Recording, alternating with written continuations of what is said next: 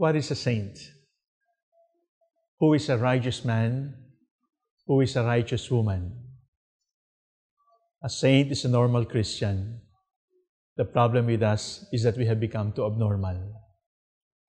That we take sin as normal, we take sin as ordinary, and we look at holiness as extraordinary. It is not so. Because the plan of God for us is holiness. God created us in order to be saints. Do not dream of anything less than that. And the source of so much desolation in the world is our abandonment of the call to be saints. There are different approaches to holiness. There are different approaches to perfection. For the Greeks, it is the pursuit of perfection. It is to remove all imperfections. It is to hone your spiritual muscles to get rid of all those defects so that you will reach the level of perfection. The other mindset, the other paradigm about perfection is the Hebrew understanding of holiness. It is not about not falling. It is not about not making a mistake. Perfection in our Judeo Christian tradition is walking with God.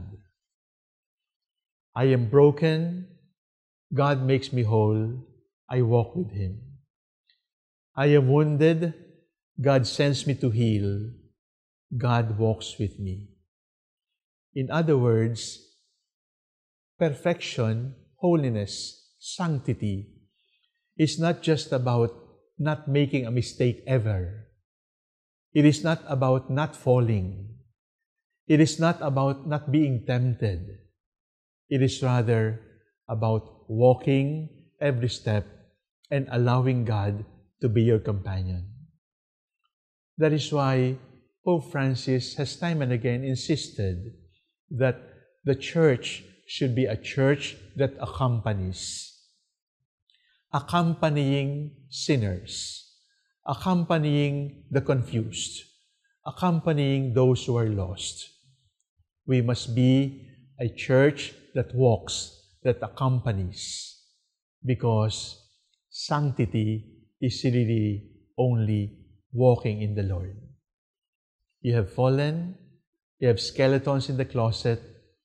The important thing to remember is rise up and start again and allow the Lord to hold you by the hand and then walk again with the Lord.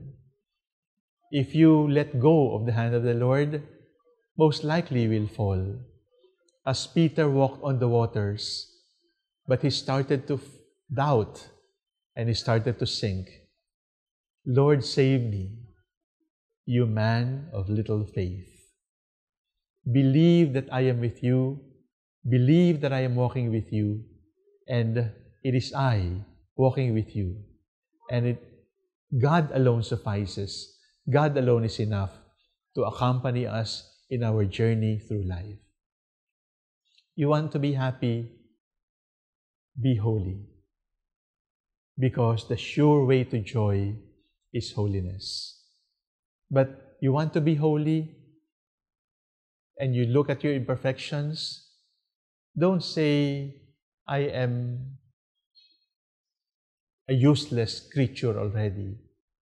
Don't say, I am a lost cause. Don't say, I have no more hope. If you just allow the Lord to walk with you, with your wrinkles and faults, the Lord will make all things new in your life. Blessed are the righteous. Blessed are those who seek perfection. Blessed are those who seek holiness, not by themselves, but by walking in the path of the Lord. You want to be holy? You want to find consolation? Aim at holiness. Walk in righteousness. There is no other path. righteousness is the path, righteousness, holiness is the destiny. It is the plan of God for you.